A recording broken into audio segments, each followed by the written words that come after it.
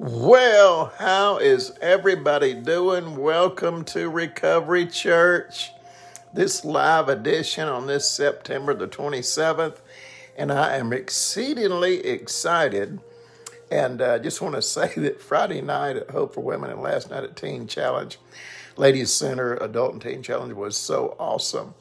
God moved so powerfully. There were two barn burners, folks getting blessed, getting discipled giving out one thing t-shirts to the graduates and it was just incredible time. Sherry brought the word last night and it was really powerful. So anyway the announce i'm gonna go ahead and tell you this and i mentioned it last week. You know when i've been started i've been doing these recovery churches on monday nights now for almost a year you know just planning planning you know uh, uh, sowing sowing digging uh, you know, with the with the thought that one day these would go live, and so next Sunday night, well, this Sunday night actually, October third, uh, with the help of Kristen from Hope for Women and the 319 Warehouse folks, Robert and Wayne, we're going to have a Sunday night service called Recovery Church. It's for all those who've gone through Teen Challenge, Hope for Women. Everybody can come. You know, all these messages are for everybody, really. And it's going to be at 6 o'clock uh, in part of the restaurant Annex 319 warehouse. It's a beautiful little area. Now, if we got more coming, we'll go into the restaurant area. But we're going to do it there the first Sunday in October, which is next Sunday night the first Sunday in November and the first Sunday in December. And of course, we'll eventually have one at my church, which I've done mission concerts, and both groups and others have come. So it's similar, but this is Recovery Church. And we're just going to see where the Lord is going to take this. Amen it may just end up being a monthly thing that we, we just do it in Jasper and then the in Warrior or whatever to get different. All the folks can come to network. The purpose is so so folks can network, they can connect, and uh, they can be discipled. Uh, of course, I'll do some of my music. Uh, you know, we'll go into worship. You know, at times we may have different speakers. You know, but it's going to be to the niche uh, because, you know, so many struggle. They go through the programs and it's all Jesus, it's all prayer and all that. Then they get out into the real world. They go, uh oh, some struggle and then get on the right track and they're doing great. Some just do great off the bat. But so many, uh, and as you know, I've discussed with others, you know, you see struggling. So this is to for the purpose of uh, discipleship, connection, uh, you know, accountability, uh, a place where you can come and do church the way we do church. Amen. It'll be Brother D style up in the house. So I want to talk to you, invite you to come this Sunday night at the 319 Annex Warehouse Restaurant. We'll be in one section that's really, really nice. And uh, it's going to be cool. So, tonight's message, hey, Chris, is going to be entitled, and I ministered this Friday night, Forgiven, Pardoned, and Cheered. Everybody say that with me. Forgiven, I'm forgiven, I'm pardoned, and I'm cheered. I want you to know that the Holy Spirit affirms you, and and and they the the host of heaven are cheering for you hallelujah, in the grandstand of heaven, they are cheering. They're saying, Go, go, go, go, go, go, go. And I want you to know that Daddy is proud of you. Can I get an amen? So in Hebrews 12, 1 and 2, it says, Therefore, since we've so great a cloud of witnesses, whoa, uh, uh, surrounding us, let us also lay aside every weight or every encumbrance and the sin that so easily entangles, and let us run with perseverance the race that is set before us. Hallelujah. Doing what? Fixing our eyes on Jesus, the author and the finisher, or the author and perfecter of our faith, who for the joy set before him endured the cross, watch this now, despising the shame, and sat down and is seated at the right hand of the throne of God. So, right off the bat, hallelujah, I want you to know that in Isaiah 53 5, that he, he died on the cross for the forgiveness of our sins, for the healing of our bodies. He was wounded for our transgressions, he was bruised for our iniquities uh, or our patterns of sin. The chastisement that brings us peace was upon him, and by his wounds and stripes, we were healed and are healed. Can I get an amen? So, the first thing I want you to know tonight is that you are no longer guilty. You are no longer guilty. Listen to Romans 5 1. Hallelujah. Say hallelujah. Romans 5 1 says, Therefore, because Jesus came, died, rose again, your faith is in him, right? I'm telling you, there's no guilt. Therefore, having been justified by faith, Romans 5 1, we have peace with God. We have shalom with God. Remember, the chastisement of our peace was upon him. So we have peace with God, okay, and we have the peace of God. Say, I have peace with God, and I have the peace of God. Hallelujah with God through our Lord Jesus Christ, through whom, watch this also, we have obtained our introduction by faith into this grace in which we stand, and we exult in the hope of the glory of God. So, we have, therefore, there's a lot of therefores tonight. Therefore, we have been justified. In other words, we have been forgiven we have been pardoned. We are now not guilty. Can I get an amen? My friends, if you have your faith in the Lord Jesus Christ, He died on the cross, shed His blood for the forgiveness of your sin, and He was raised up. Say, He was raised up for my justification. How He was raised up and said, Okay, I'm acquitted. He was raised up and said, freely pardoned. He was raised up and said, You are now justified. Say, I'm, I'm, I'm not guilty. Amen. Hallelujah. So he was delivered over to death for our sins and raised to life for our acquittal, our free pardon.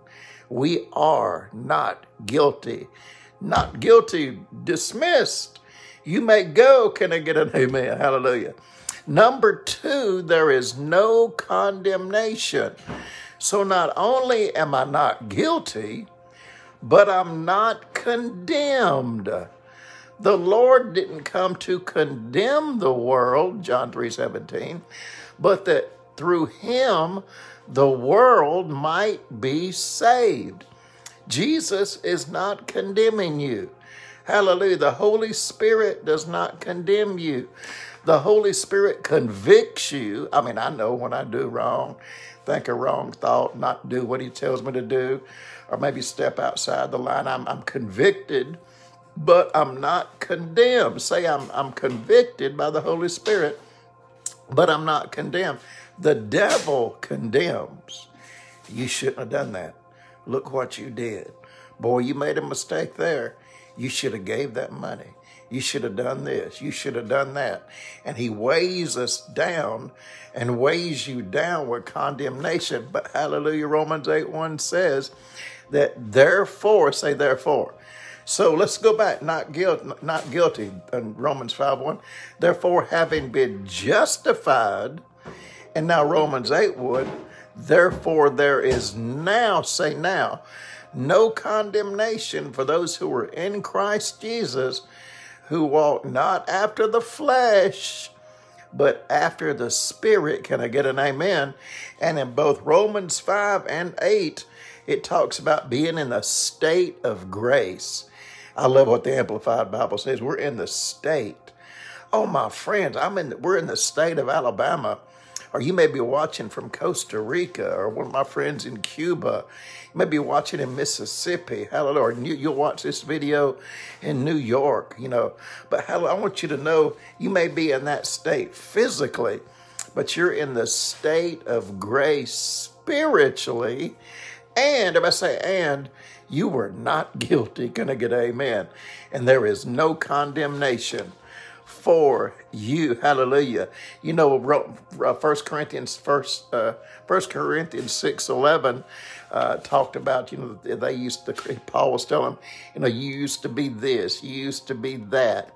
Used to be an adulterer, used to be a fornicator, used to be a gambler, used to be a swindler, used to be an addict, used to be a prostitute, used to be all these things. He said, and such as some of you were. Say I were. but you've been washed, you've been sanctified, you've been now justified, sanctified, set apart to God justified, freely pardoned in the name of Jesus by the name and in the by the Spirit of our God. So, my friends, you're not guilty. You're not condemned. Can I get an amen? And number three, you have no shame. You have no shame. Shame will cause you to hang your head. Shame will weigh you down. Shame, when Adam and uh, Eve sinned, they had shame and they tried to cover themselves with the leaves. Hallelujah. But the Lord killed the animals and put the skins on them with the blood. I'm telling you, the blood of Jesus delivers from shame. That's why Isaiah said in 50 verse 7, he said, I will not be shamed. I will not be disgraced. Therefore, I've set my face like flint and I know I'm going to triumph. Hallelujah. There's no shame in God's game. Can I get an amen? And there should be no shame in your game. You've been washed. You've been justified. You've been sanctified in the name of Jesus. My friends, you ought to be shouting right now. You ought to be running the you ought to be running outside shouting. I know the other day during the ball game, I'm sitting here and something happened and I ran out of the back porch shouting. You know, it wasn't a good shout either, but we ought to be shouting, hallelujah, because we're not guilty. We're acquitted, freely pardoned. We're not condemned. And Jesus took our shame on the cross. Can I get a hallelujah? I love what Isaiah 61 says that we'll get double, a twofold recompense and we won't have or suffer any shame. Hallelujah. Because Jesus took the shame and the blood cleanses, and the blood cleanses. Number four, there's no more curse. So not only am I not guilty, not only, hallelujah, am, am I not condemned, not only, number three, do I not have shame, but number four, say number four, I'm not cursed. Why is that? Because Jesus took not only my sin, not only my condemnation, not only my shame, but he took my curse. Listen to Galatians 3 13 and 14 says that Christ redeemed or he purchased.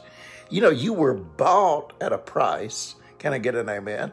He redeemed us from the curse of the law, having become a curse for us. For it is written, Cursed is everyone who's hung on a tree. Watch this now.